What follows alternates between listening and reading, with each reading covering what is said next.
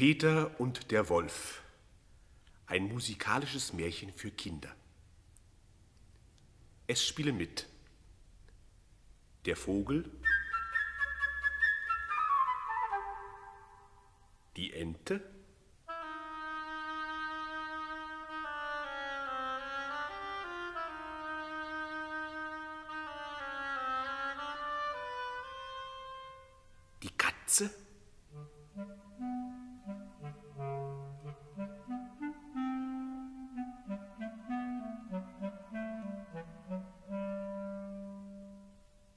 Großvater,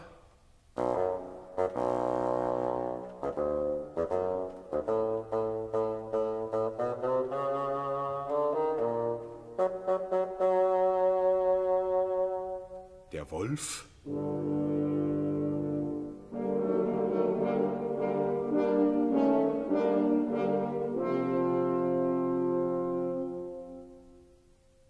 Peter,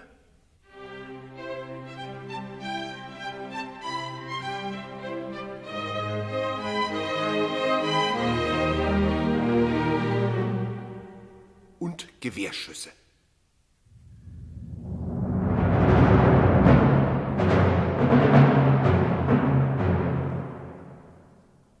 An einem schönen Sommermorgen, als im Haus noch alles schlief, öffnete Peter heimlich die Gartentür und ging hinaus auf die große grüne Wiese.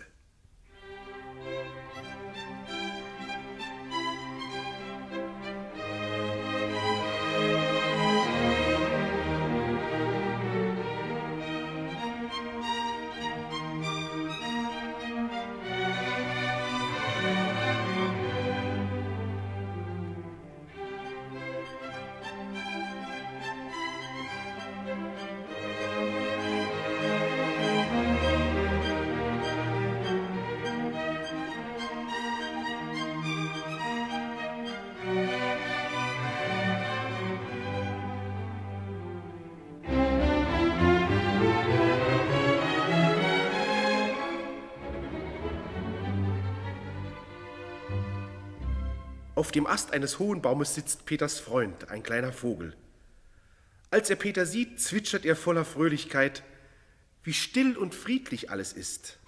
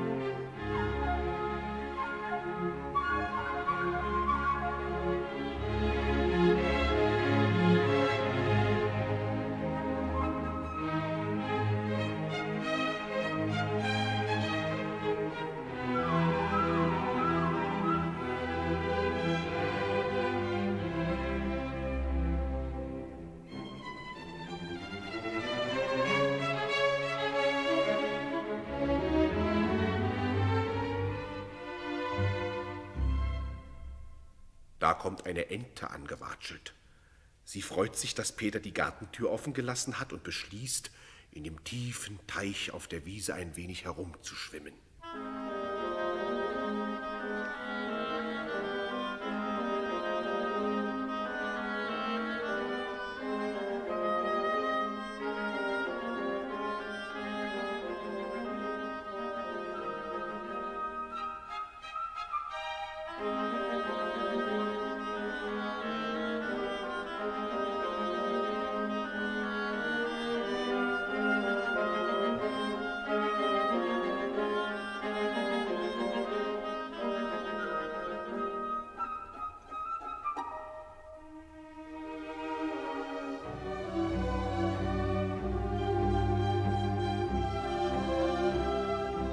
Als der kleine Vogel die Ente sieht, fliegt er hinunter, setzt sich neben sie ins Gras und plustert sich mächtig auf.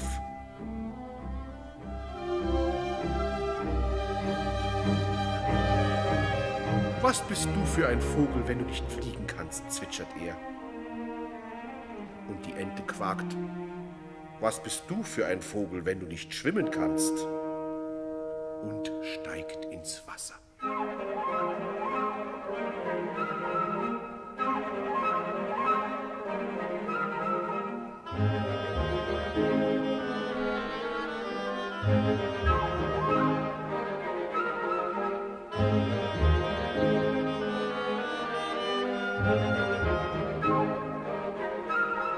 So streiten sie miteinander. Die Ente schwimmt auf dem Teich und der kleine Vogel hüpft am Ufer hin und her.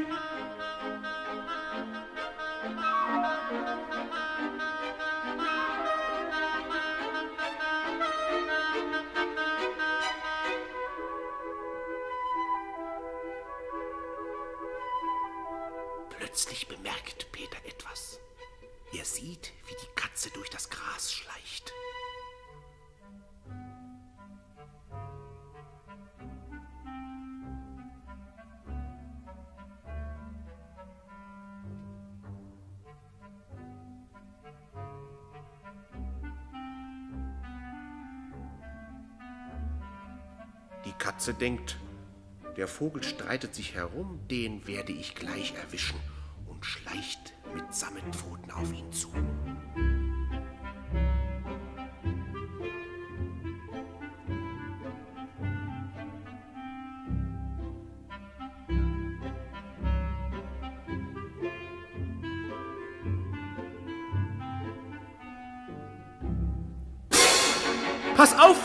Peter, und sofort fliegt der Vogel wieder auf den Baum.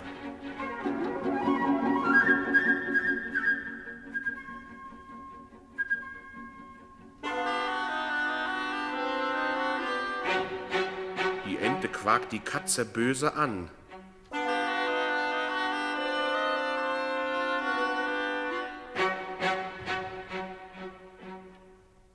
Von der Mitte des Teiches her.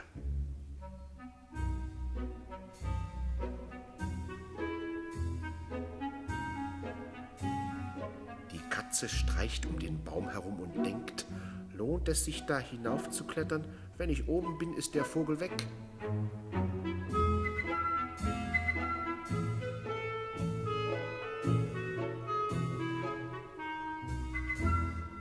Der Großvater kommt aus dem Haus. Er ist böse, weil Peter auf die Wiese gelaufen ist und auch die Gartentür offen gelassen hat. Das ist gefährlich, sagt er. Wenn nun der große graue Wolf kommt, was dann?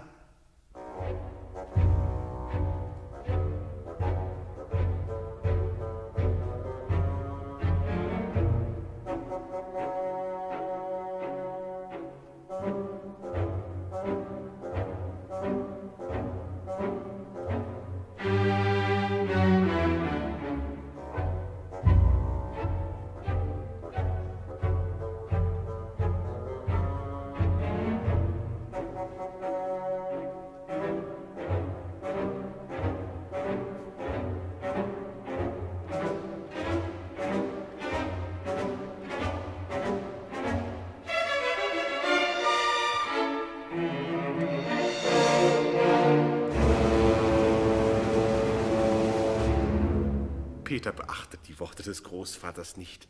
Jungen wie er fürchten sich nicht vor dem Wolf.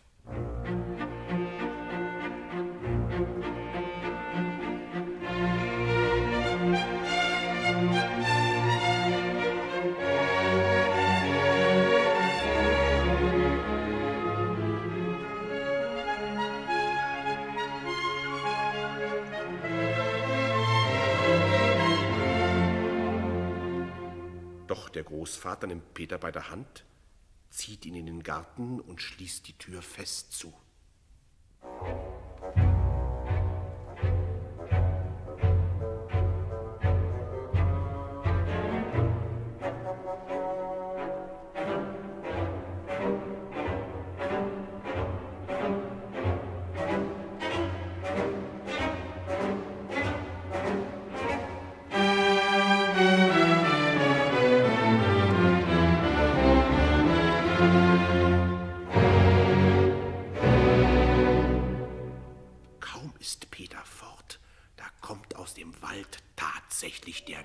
Der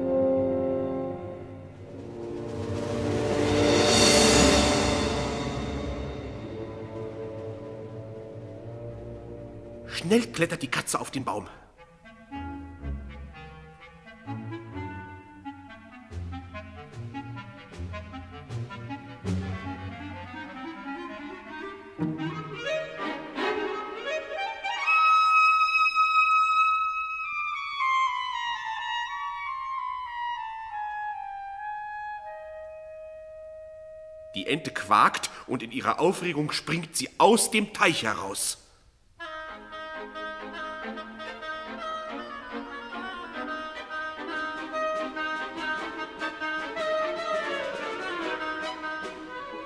Aber so schnell die Ente zu laufen versucht, sie kann dem Wolf nicht entkommen. Er kommt näher und näher, holt sie ein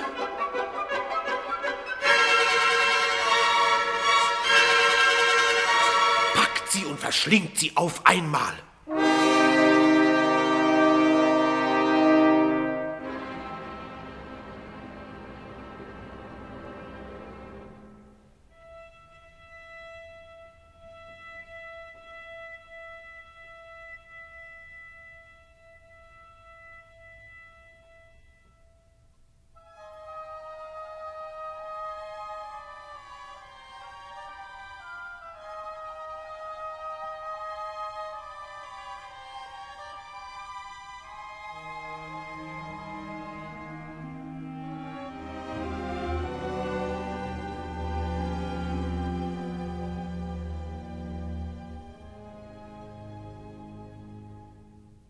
Und nun sieht es so aus.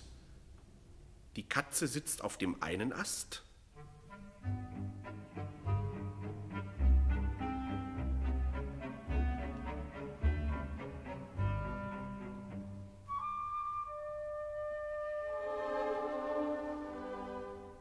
Der Vogel auf einem anderen.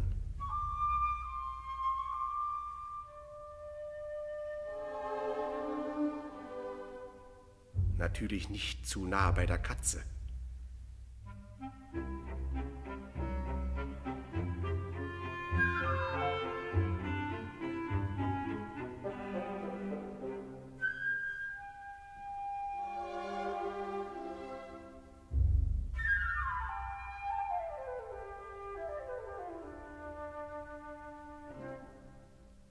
Der Wolf läuft immer um den Baum herum und sieht mit gierigen Augen hinauf.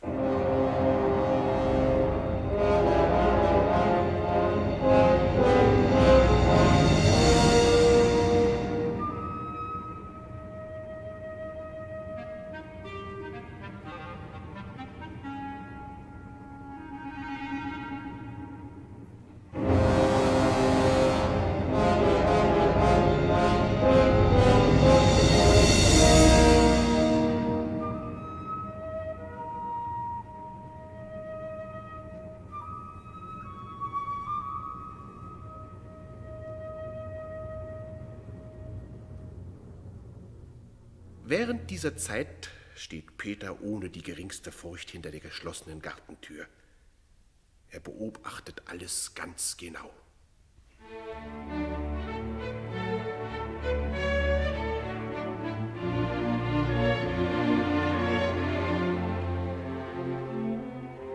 Schnell läuft er ins Haus, holt ein starkes Seil und klettert auf die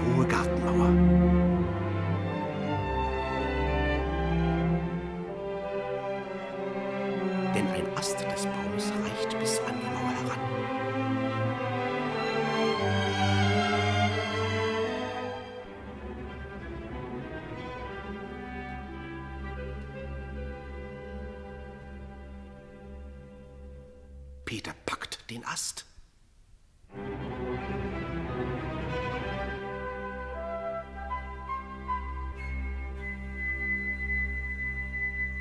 Und klettert vorsichtig hinüber in den Baum.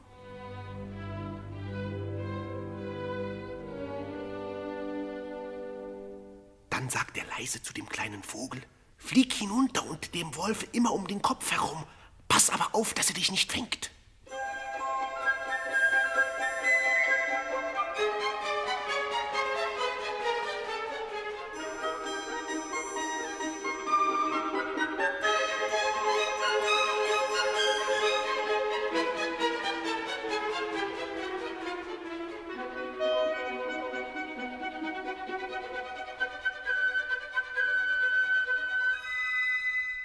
Der kleine Vogel berührt mit den Flügeln fast den Kopf des Wolfes.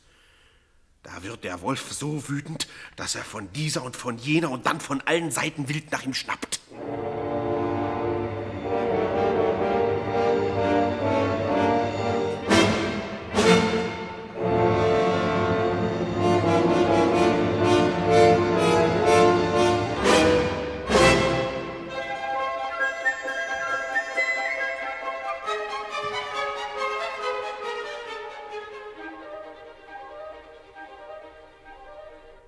Wie der kleine Vogel den Wolf ärgert und wie der Wolf ihn zu fangen versucht.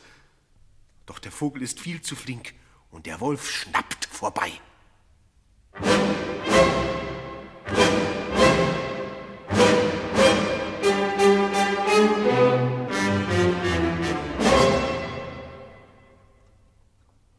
Peter hat inzwischen eine Schlinge in das Seil gemacht und lässt es vorsichtig hinunter.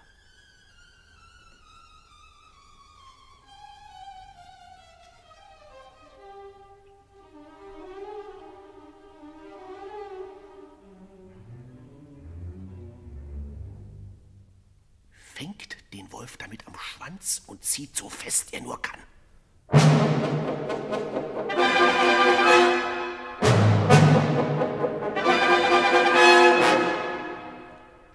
Als der Wolf merkt, dass er gefangen ist, beginnt er wild hin und her zu springen, um loszukommen.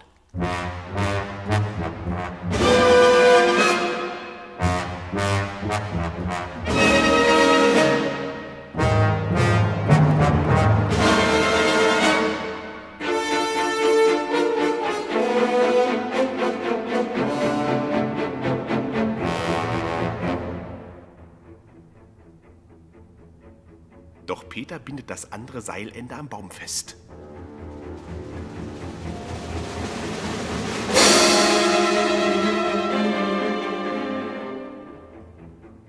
Und je mehr der Wolf herumspringt, desto fester zieht sich die Schlinge.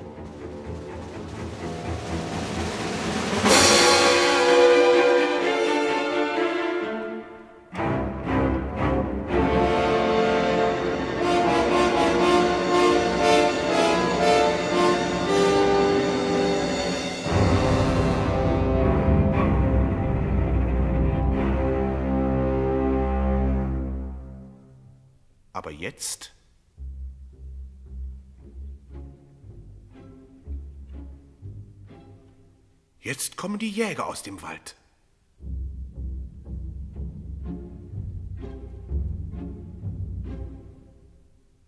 Sie sind dem Wolf auf der Spur.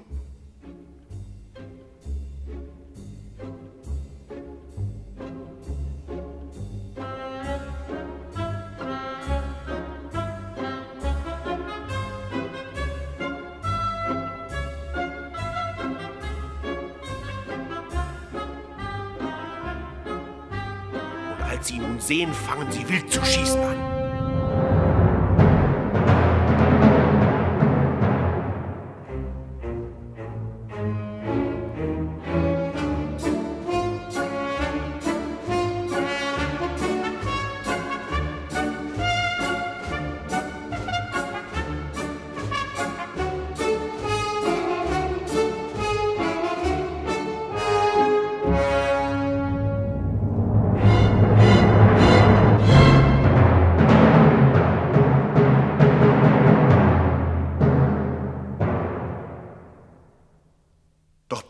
Baum sitzt, ruft ihnen zu. Ihr dürft nicht schießen. Der kleine Vogel und ich, wir haben den Wolf schon gefangen. Helft uns lieber, ihn in den Zoo zu bringen.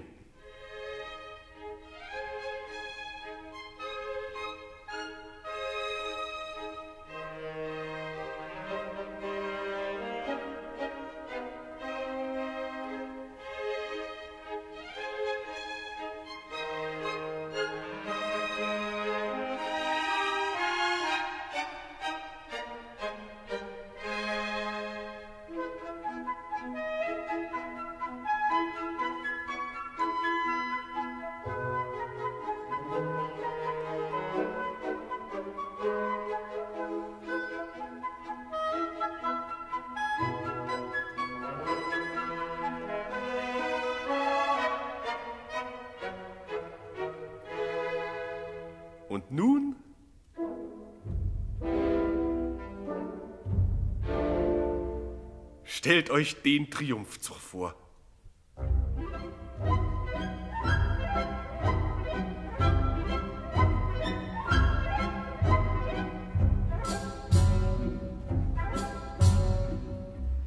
Allen voran Peter.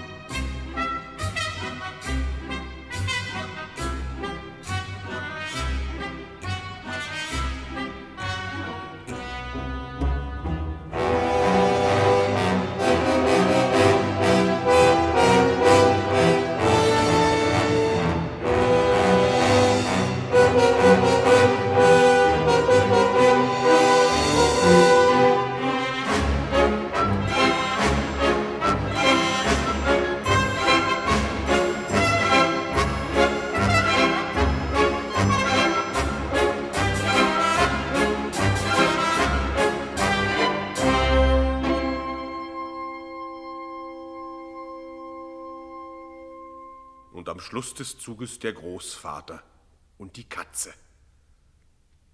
Der Großvater runzelt die Stirn. Na ja, sagt er. Aber wenn Peter den Wolf nun nicht gefangen hätte, was dann?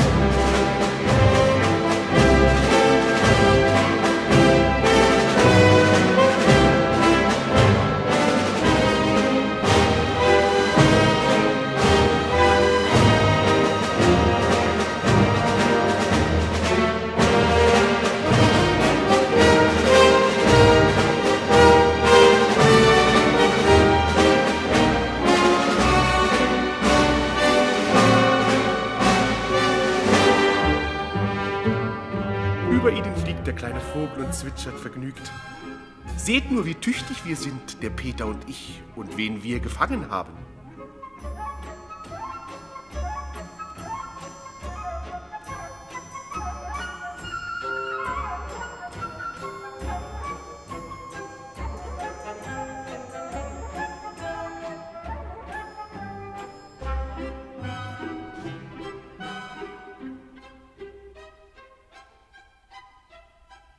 Und wenn man ganz genau hinhört, kann man die Ente im Bauch des Wolfes quaken hören, denn der Wolf hatte sie in seiner Gier lebendig verschlungen.